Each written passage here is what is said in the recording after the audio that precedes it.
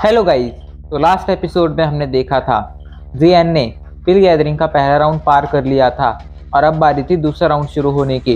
दूसरा राउंड शुरू हो गया था। इस राउंड में पार्टिसिपेंट्स को, सभी एल्केमिस्ट को पिल रेल में भेजने वाले थे। वहाँ जाकर सभी एल्केमिस्ट को कुछ जड़ी बूटियाँ इकट्ठा करनी थी और 10 दिन के अंदर वो जड़ी बूटियाँ इकट्ठा कर कर पिल रेल से बाहर आना था, वरना वो कॉम्पिटिशन से बाहर हो जाते। एक के बाद एक एल्केमिस्ट एल्डर से चीज़ें लेकर फिर रेलम के अंदर जाने लगते हैं। अब आगे। लगभग अब तक सौ एल्केमिस्ट फिल रेलम के अंदर चले गए थे, जिसके बाद काविंग और सोंगक्विंग उठते हैं।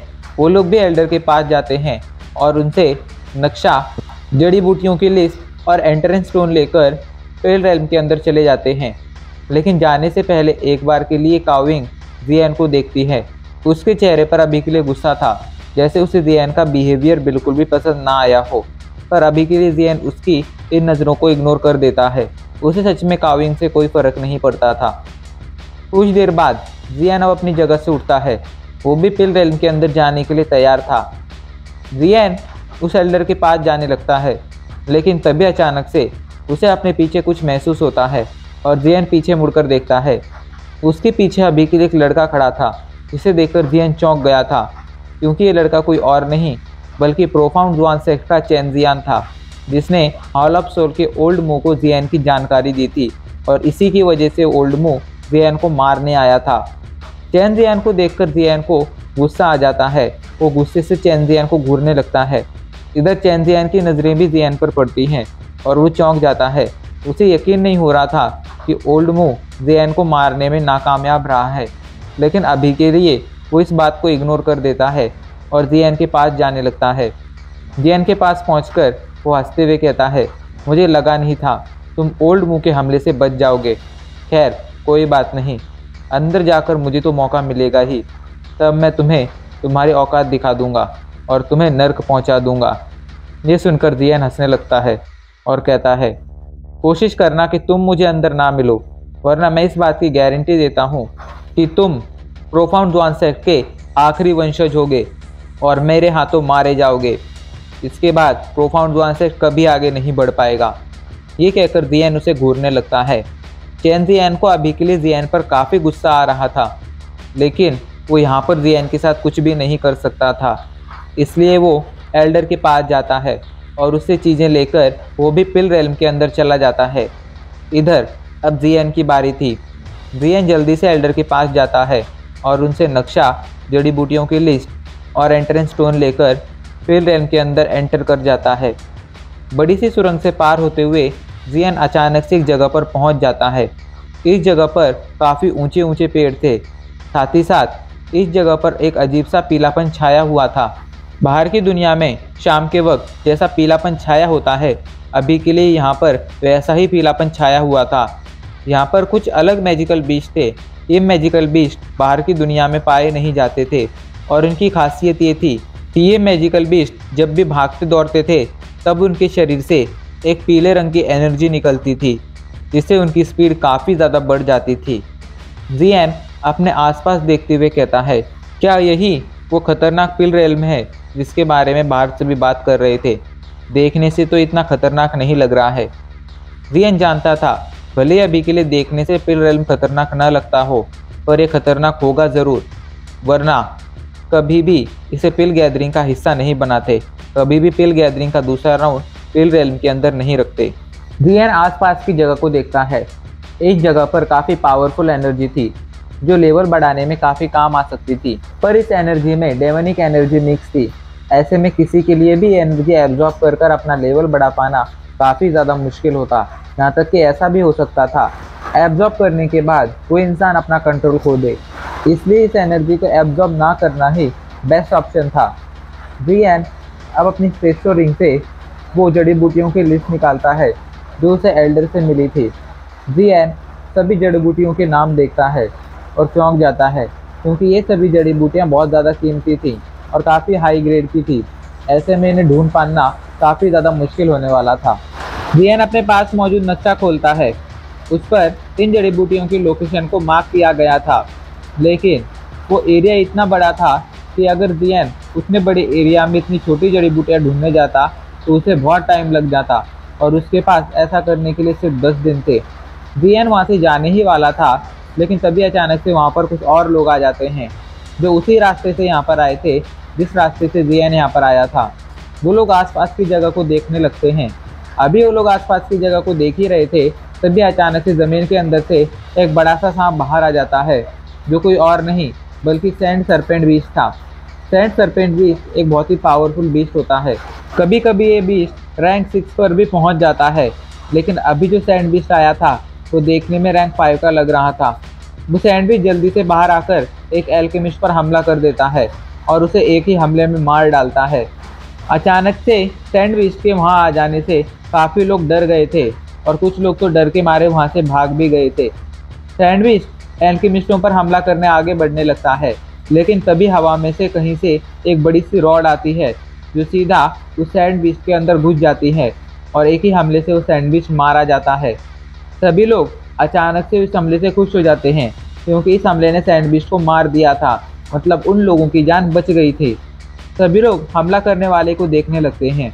आसमान में अभी के लिए एक इंसान उड़ रहा था, जिसके पीठ पर डोई कोई विंग्स थे। जिसे देखकर लग रहा था कि यह आदमी बहुत ही ज़्यादा पावरफुल है। और वो पावरफुल था भी, क्योंकि उसने सैंडविच को एक ही हमले में मार दिया था। सभी लोग अभी खुशी हो रहे थे। तभी वो आदमी जल्दी से अपनी रॉड से एक एल्केमिस्ट पर हमला कर देता है।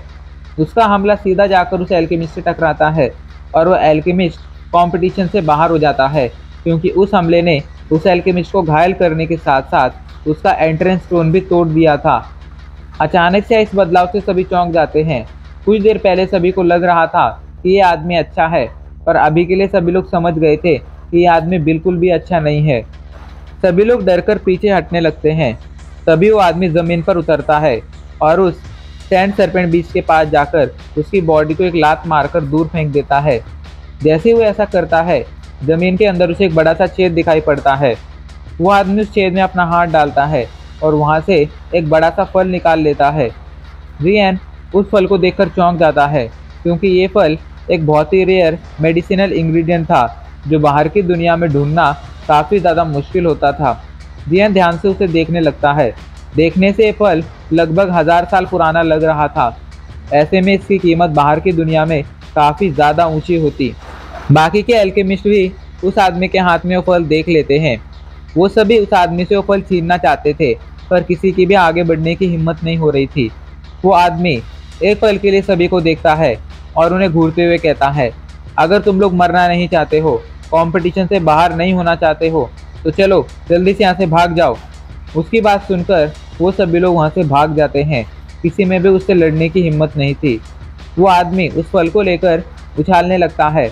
वो अभी उसे हवा में उछाल ही रहा था, तभी अचानक से कहीं से एक पावरफुल सक्शन फोर्स आ जाता है और वो फल हवा में उड़कर एक डायरेक्शन में जाने लगता है। वो आदमी उस फल को पकड़ने की काफ़ी कोशिश करता है, मगर वो उसे पकड़ नहीं पाता है। अचानक से वो फल एक लड़के के हाथ में पहुँच जाता है। वो आदमी उस लड़के को ध्यान से देखने लगता है और उसे गुस्से से कहता है, लड़के, मुझे मेरा फल लौटा दे। ये लड़का कोई और नहीं, बल्कि जियान था। उसने इस आदमी से फल छीना था। वो समझ गया था, ये आदमी बिल्कुल भी अच्छा नहीं है। ऐसे में जियान इस पर कोई दया नहीं दिखाने वाला था। जियान जल्दी से आसमान में पहुँच जाता है। अभी के लिए जियान आसमान में बिना डोई कोई विंग्स के उड़ रहा था। ये देखकर वो आदमी चौंक जाता है। जियान उसे घूरते हुए कहता है, अगर तुम मरना नहीं चाहते हो तो यहाँ से भाग जाओ। वो आदमी जियान से वो फल वापस छीनना चाहता था, पर जियान को बिना डोई के विंग्स के हवा में उड़ता देख वो ये समझ गया था कि जियान एक डाउजोंग लेवल का वॉरियर है और वो आदमी अभी के लिए डाउहोंग लेवल पर ही था। ऐसे में वो जियान से बिल्कुल भी लड़ नहीं सकता था। आखिर में हार मानकर वो आदमी वहाँ से भाग जाता है। इधर जियन उस फल को हासिल कर कर अभी के लिए काफ़ी ज़्यादा खुश था। जियान एक पल के लिए उस फल को देखता है, जिसके बाद वो उसे अपनी स्पेस स्टोरिंग के अंदर रख लेता है। लेकिन जियन वहाँ से जाता नहीं है। वो उस जगह को देखने लगता है, जहाँ से उस आदमी को ये फल मिला था। जियान ने मास्टर यावलाओ की छोड़ी हुई कुछ किताबों में पढ़ा था। जहाँ पर भी ये फल उगता है, वहाँ पर ये फल सौ साल से ज़्यादा देर तक नहीं टिक पाता है। लेकिन अभी के लिए जियान के पास जो फल था, वो लगभग हज़ार साल पुराना था।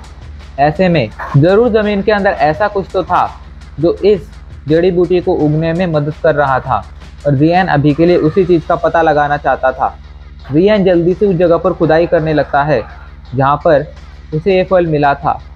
लगभग एक घंटे तक जियान खुदाई करता रहता है। इस दौरान उसने साठ फीट गहरा गड्ढा खोद लिया था, लेकिन अभी तक उसे ज़मीन के अंदर से कुछ भी नहीं मिला था। जियान अब काफ़ी ज़्यादा निराश हो जाता है। उसने इतनी गहरी खुदाई कर ली थी, लेकिन अभी तक उसे कुछ नहीं मिला था। वो सोच में पड़ जाता है, कहीं ऐसा तो नहीं है कि उस किताब में जो भी लिखा था, वो बस एक अफवाह थी, उसमें कोई सच्चाई नहीं थी। फिर सोचकर अब जैन खुदाई करने का मन छोड़ देता है। और वो वहाँ से पीछे हटने लगता है।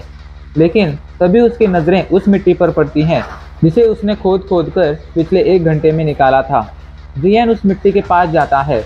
उस मिट्टी में एक अजीब सा मॉइस्चर था और मॉइस्चर के साथ साथ जियन को उसके अंदर से एक एनर्जी भी महसूस हो रही थी। साथ ही साथ उस मिट्टी के ऊपर जो हवा थी, वो भी अभी के लिए काफ़ी ज़्यादा मॉइस्चराइज हो गई थी और काफ़ी ज़्यादा ठंडी हो गई थी। अचानक से आए इस फ्लू से जियन चौंक जाता है, लेकिन अब उसके चेहरे पर एक्साइटमेंट दिखाई पड़ रही थी। वो अब खुदाई जारी रखने का प्लान करता है।